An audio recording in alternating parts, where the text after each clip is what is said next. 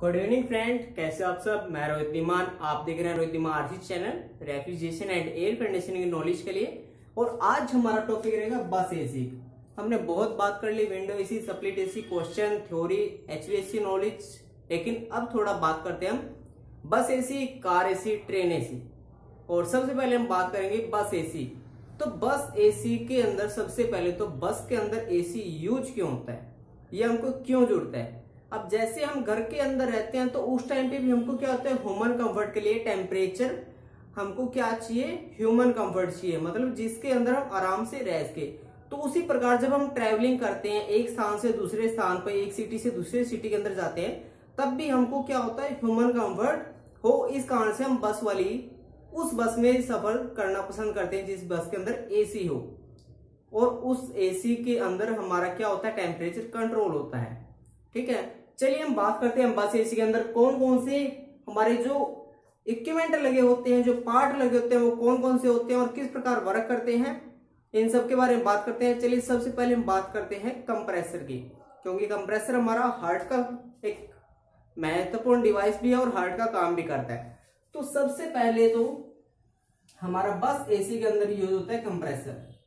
अब बात यह आती है कंप्रेसर कौन सा यूज़ होगा और कैसे चलेगा? सबसे पहले तो आपको बता दूँ, जो हमारा कंप्रेसर है, बस एसी में, अगर आपने देखा हो, सबसे बैक साइड में मतलब कि अगर ये हमारी कंप्लीट बस है तो यहाँ पे आपको बैक साइड में कंप्रेसर मिलेगा।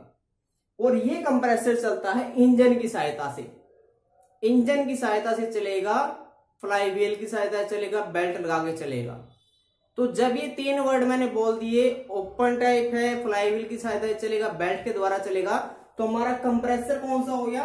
रेसिप्रोवेटिंग कंप्रेसर रेसिप्रोवेटिंग कंप्रेसर इसके अंदर यूज़ होगा। अब चलिए आगे बात करते हैं कैपेसिटी की। अब जो हमारा कंप्रेसर इसकी कैपेसिटी क्या रहेगी? चलिए, सबसे पहले हम बात करते हैं आरपीएम के अंदर। आरपीएम की बात करें तो मिनिमम 600 आरपीएम और ये सब चीज़ें बस एसी के अंदर बता रहा हूँ। 600 आरपीएम मिनिमम रहेंगे और मैक्सिमम ज़्यादा ज़्यादा आरपीएम कितने रहेंगे? 5000 आरपीएम आरपीएम मतलब क्या? रेगुलेशन पर मिनट ठीक है? अब उससे आगे। ये हो गया हमारे आरपीएम आगे हम बात करें टन के अंदर। कि बस एसी के अंदर हमारे जो टन कैपेसिटी है वो कितनी होगी? तो यहाँ पे जो हमारी टन कैपेसिटी है टेन टन से लेके फिफ्टी टन। ठीक है? ये कैपेसिटी अलग अलग क्यों है? क्योंकि आपने बस देखी होगी, कोई तो आपकी होती है केवल वन साइड मतलब जिसके अंदर बस बेस के अंदर सीटें लगी होती है, कई होती है डबल स्टोरेज या डबल शिफ्ट वाली फ्लोर वाली, जिसके अंदर ऊपर नीचे दोनों साइडों में लोग बैठ के ठीक है? तो इस कारण से इस कैपेसिटी को देख के ही उनको क्या किया जाता है? उनको बढ़ाया जाता है। कंप्रेसिव एफिशिएंसी को बढ़ाया जाता है। और एक बात और बता दूँ आपको क्लियरली सबसे पहले तो वीडियो शेयर कर देना। एंड आपके इस बस एसी रिलेटेड जितने भी डाउट हो, या जितने भी आपको ये लगे कि ये पॉइंट शायद गलत है तो वो सब चीज़ें आपको कमेंट बॉक्स में जोड़ लिखनी है। ताकि सभी को एक हाई नॉलेज और एक एक्यूरेट नॉलेज मिल सके। तो कोई भी डाउट है, कोई भी क्वेश्चन है या कुछ भी गलत लगता है तो प्लीज़ कमेंट बॉक्स में लिखिए और वीडियो को शेयर करना मत भूलिएगा। चलिए, आगे हम बात करते हैं।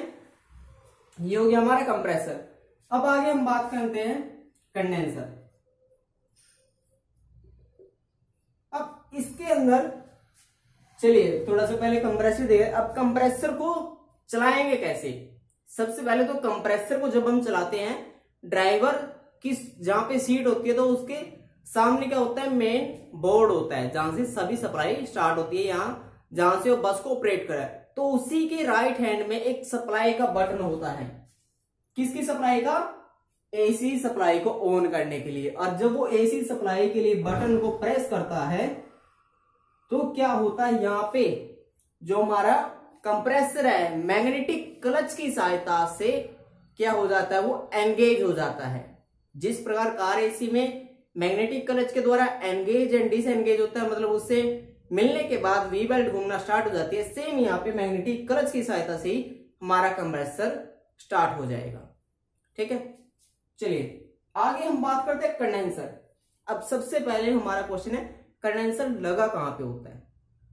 एक सिंपल या एक ये कहें हम, एक अच्छा तरह से, पूरी तरह से हमारा जो रेफ्रिजरेंट है, पूरी तरह से लिक्विड के अंदर चेंज हो जाए एक बड़ी एफिशिएंसी के रूम में तो इस कारण से हम इसके अंदर कंडेंसर यूज़ करते हैं बस की छत के ऊपर। बस के टॉप के ऊपर हम लगाएँगे। जैसे हमारा कंप्रेसर यहाँ पे था तो यहाँ से हमारी पाइपलाइन जाएगी और यहाँ पे हमारा क्या होगा? कंडेंसर लगेगा। अब एक बात है, अब यहाँ पे कंडेंसर यूज़ कौन सा होगा? अब सिंपल सी बात है एयर कूल्ड कंडेंसर यूज़ होगा। लेकिन एयर कूल्ड कंडेंसर तो यूज़ होगा, लेकिन हम इस कंडेंसर का नाम क्या कहेंगे? इस कंडेंसर की अगर मैं थोड़ी सी सेप की बात करूँ तो ये आपके बीच में रहेंगे फ़ैन और दोनों साइड में आपकी रहेंगी क्वाइल्स इस साइड भी और इस साइड भी ठीक है? मतलब कि आपका बीच में फ़ैन रहेगा और दोनों साइड आपकी क्वाइल रहेंगी। और इस कंडेंसर को हम नाम देंगे मल्टी फ्लो कंडेंसर कौन सा कंडेंसर मल्टी फ्लो कंडेंसर और मल्टी फ्लो कंडेंसर का दूसरा नाम भी है, या हम इसको माइक्रो फ्लो कंडेंसर भी बोल सकते हैं। Micro flow condenser. ठीक है? तो ये हमारा कंप्रेसर हो गया, या कंडेंसर हो गया। जो इसके अंदर यूज़ हो रहा है। आगे चलते हैं। अब आगे इसके अंदर हम बात करें कंडेंसर के बाद हमारा एक डिवाइस आता है एक्सपेंशन वाल अब इसके अंदर एक्सपेंशन वाल कौन सा यूज़ करेंगे?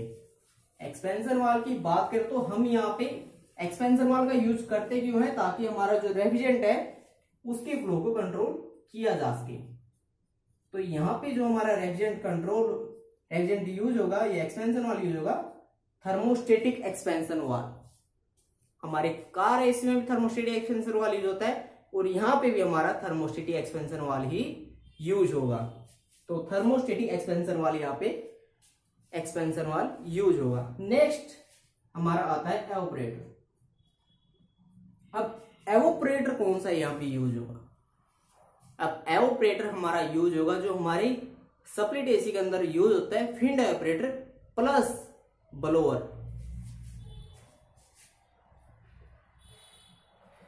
finned evaporator plus blower अब यहाँ पे मैंने ब्लोअर का यूज़ क्यों किया है?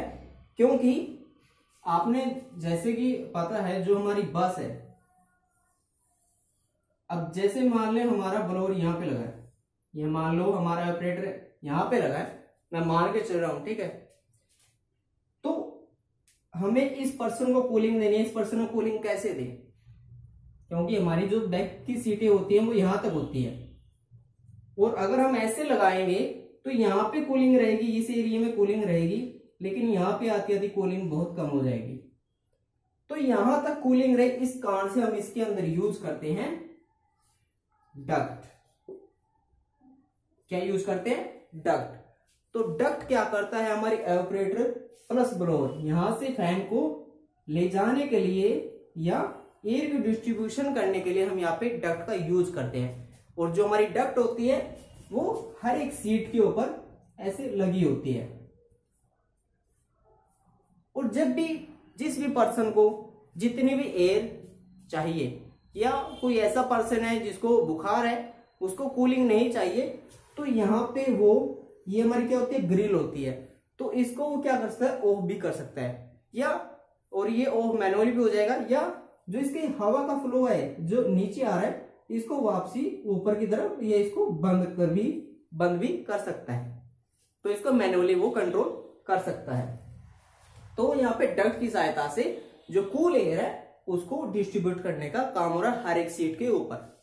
चलिए, अब हम थोड़ा सा बात करते हैं कि जो हमारा एवोपरेटर है और जो हमारा कंप्रेसर है, उसके साथ साथ कौन कौन से पार्ट लगे होते हैं? सबसे पहले तो कंप्रेसर के पास क्या लगा होगा? हमारी मैग्नेटिक क्लच रहेगी, हमारी इंजन रहेगा, ठीक है? और ऑपरेटर के पास हमारा क्या रहेगा? Expansion valve operator blower duct sight glass. यहाँ पे साइड ग्लास का यूज़ क्यों करेंगे? और इसके अंदर एक चीज़ का यूज़ और करेंगे हम रिसीवर का। अब रिसीवर का यूज़ यहाँ पे क्यों किया? क्योंकि इसकी जो एफिशिएंसी है, जो बस की एफिशिएंसी है, वो टेन टन से फिफ्टी टन है। तो कहीं ना कहीं रेविजेंट भी ज़्यादा चार्ज होगा। आगे वही बात करेंगे रेविजेंट कौन सा चार्ज होगा? तो इस कारण से हम यहाँ पे रिसीवर का यूज़ करें ताकि जो हमारा कंडेंसर के बाद रेविजेंट जा रहा है वो रिसीवर के अंदर क्या हो जाए कलेक्ट हो जाए, ठीक है? और यहाँ पे हम एक साइड ग्लास भी यूज़ करेंगे, जिसके अंदर से रेफ्रिजरेंट को हम देखते रहें, ठीक है? तो आगे चलते हैं। अब आगे हम बात करते हैं इसके अंदर ही। अभी अभी ओके तो हाँ जी रेफ्रिजरेंट तो रेफ्रिजरेंट यहाँ पे हमारा R one three four A use होता है, लेकिन एक रेफ्रिजरेंट और यूज़ होता है। R one two three Y F but ये अभी ये कह सकते हैं इंडिया में आया नहीं है, या ये बोल सकते हैं इंडिया में यूज़ नहीं हो रहा है। तो हम कौन सा रेफ्रिजरेंट यूज़ करते हैं बस के अंदर? R one three four A और इसकी अगर बात करें कि कितना चार्ज होगा, अगर हमारी कोई वाल्वो बस है या टेन टेन कैपेसिटी की बस है तो उसके अंदर हम रेफ्रिजरेंट चार्ज करेंगे नाइन किलोग्राम ठीक है? तो नाइन किलोग्राम हम इसके अंदर चार्ज करेंगे। और अगर आपको इसका चाहिए suction pressure standing pressure and discharge pressure तो वो भी मैं आपको दे देता हूँ। जी, सबसे पहले सक्शन प्रेशर हमारा रहेगा इसके अंदर। Suction discharge and standing pressure तो हमारा यहाँ पे सक्शन प्रेशर रहेगा 40 पीएसआई और डिस्चार्ज हमारा रहेगा 150 से 180 पीएसआई और स्टैंडिंग प्रेशर रहेगा 50 से 60 पीएसआई सॉरी 85 सॉरी यहाँ पे 50 टू 60 पीएसआई नहीं है. 85 टू 95 पीएसआई और नेक्स्ट वीडियो में बात करेंगे इसके अंदर फॉल्ट क्या क्या आएँगे। और वर्किंग अगर आप समझते हो इसकी वर्किंग कुछ अलग होगी। जो हमारी साइकिल है, जो साइकिल की वर्किंग होती है, वो सेम रहेगी। जैसे कंप्रेसर क्या काम करता है कंडेंसर क्या काम करता है ऑपरेटर क्या काम करता है वर्किंग सेम है। उसको डिस्क्राइब करके आपका या मेरा टाइम वेस्ट कर कोई ज़रूरत नहीं है। आज हमने बात की इसके अंदर कौन कौन से पार्ट है और नेक्स्ट वीडियो में हम बात करेंगे इसके अंदर फॉल्ट कौन कौन से आते हैं। और प्लीज़ वीडियो को शेयर करें और कमेंट बॉक्स में ज़रूर लिखें जो भी आपके डाउट है, जो भी आपके क्वेश्चन है या जो चीज़ अगर मेरी तरफ़ से गलत बताइए तो उसको प्लीज़ कमेंट बॉक्स में लिखें ताकि नेक्स्ट वीडियो में उसको करेक्ट नॉलेज सभी के पास पहुँचाया जा सके। And thank you for watching my video thank you